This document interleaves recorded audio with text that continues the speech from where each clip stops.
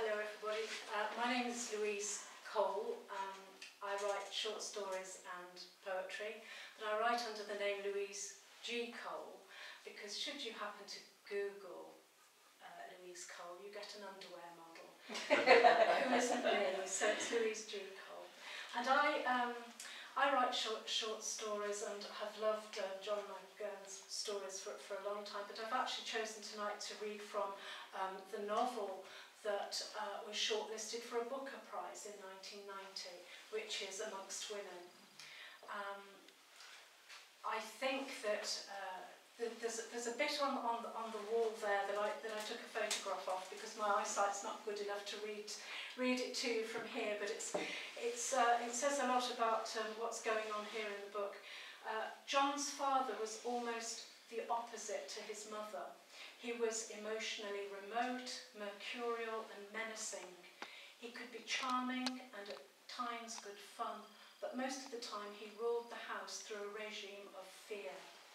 Much of his last book, Memoir, is given over to McGahern trying to understand and come to terms with his father, but he also seemed to model um, some of his characters on his father, and this one in particular, um, I'd say. Um, this is uh, Michael uh, Moran, who, who um, is a retired IRA um, um, whatever. um, and he rules his, his house uh, with, with kind of menace. Um, there's a kind of hidden violence there all the time, and I love the way that McGahern is very casual in the way that he, he, he writes about this. It's, it, he, he identifies changing times. And the, the, the, passages that I've chosen to read are about his daughters. He, the story is about um, uh, Michael who um, is widowed with five children. Um, four of them still live at home. He remarries and um, and his children do very well at school, but he doesn't allow um, his one particular, his one daughter who wants to read medicine at, at university, he doesn't allow her to go away uh, to study. And it's, uh, it says a lot about the kind of character this man is. Um,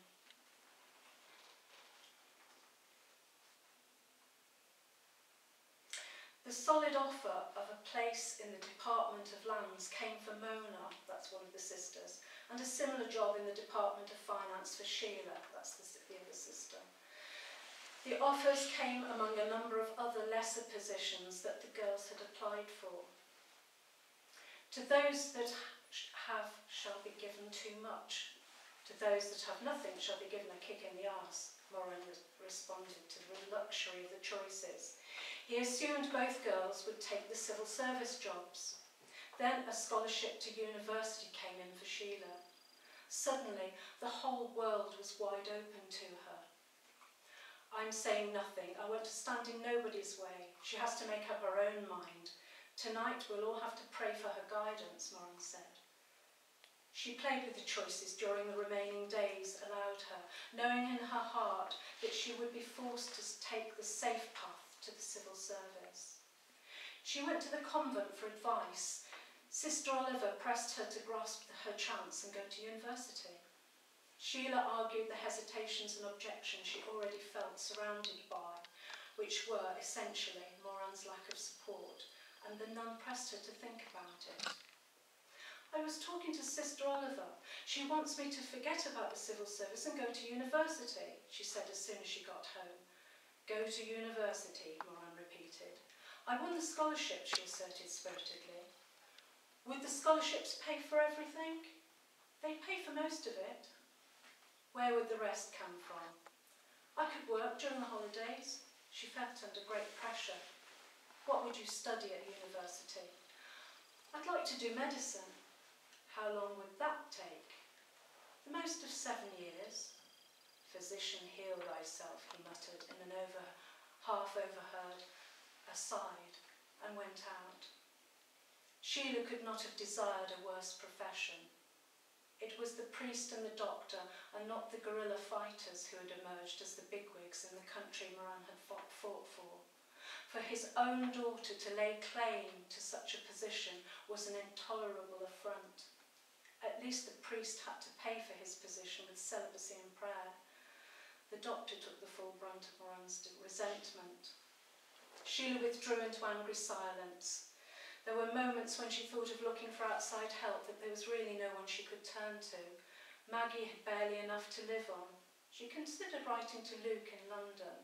She had even taken notepaper out, but realised that it would be directly confronting Moran. She could not bring herself to do it. Throughout, Moran did not attempt to influence Sheila directly, but his withdrawal of, of support was total. After two days, Sheila announced truculently, I'm not going to the university, I'll take the civil service. I didn't want to stand in your way, that's why I said nothing, but I can't help thinking it's closer to your measure. How? Her anger brought out its, his own aggression. How what? How pig is it, he demanded. Demanded? What do you mean, Daddy? I didn't understand what you said, that's all. She was quick to change, but she refused to withdraw. You'd understand quick enough if you wanted to. You know the old saying, there's none more deaf than those who do not want to hear. I'm sorry, I just didn't understand, Daddy. And that's as much as I've got time to read for you. Um, of course, she doesn't go to university, um, but the, the grip that the father has on these children, they love him, uh, but they're afraid of him and they respect him. It's a really good read and I can understand why, if you haven't read it already, I'm sure lots of people have, I can well understand why it was uh, um, shortlisted for a Booker Award. It actually brought um, John McGahern to a, a, a wide, wider English-speaking audience than perhaps he, he was before. And that was back in 1990. So, thank you. Thank you. Thank you.